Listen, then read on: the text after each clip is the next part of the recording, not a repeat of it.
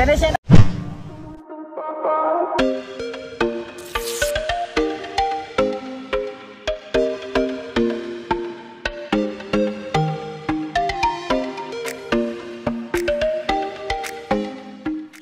PSIS Semarang yaitu Stadion Jatidiri Semarang mulai menjalani verifikasi untuk Liga 1 2023-2024 setelah diverifikasi oleh PT LIB dan PSSI. Kini giliran pihak kepolisian yang melakukan pengecekan di stadion tersebut.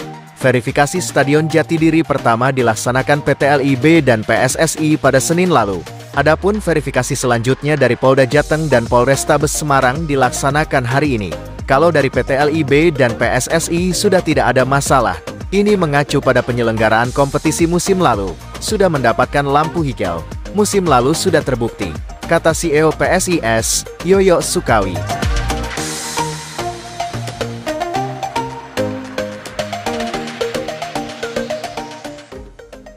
Sedangkan dalam proses verifikasi dari pihak kepolisian, Yoyo menuturkan ada beberapa syarat yang harus dipenuhi agar Stadion Jatidiri mendapatkan izin penyelenggaraan pertandingan.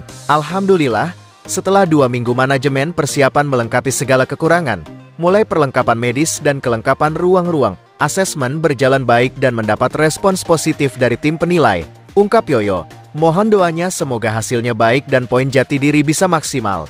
Imbuh dia, sementara dalam persiapan tim, PSIS Semarang terus menggenjot fisik para pemainnya. Manajemen PSIS juga mengagendakan laga uji coba untuk menguji kekuatan tim sebelum tampil di Liga 1 2023-2024.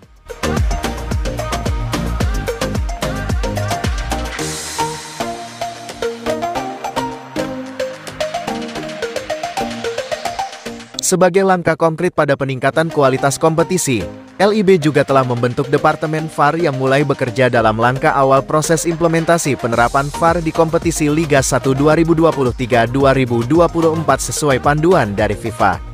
Sesuai rencana yang dikemukakan Ketum PSSI Erick Thohir, VAR akan mulai diterapkan pada pertengahan musim yakni pada bulan Februari tahun 2024.